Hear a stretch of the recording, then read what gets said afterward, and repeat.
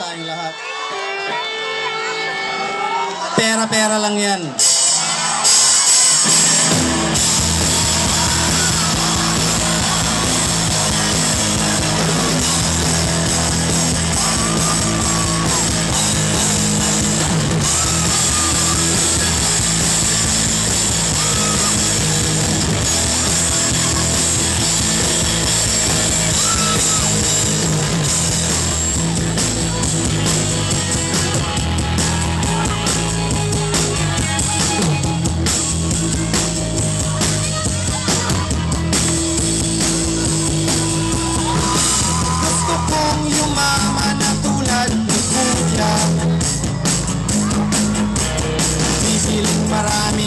sa para lumigaya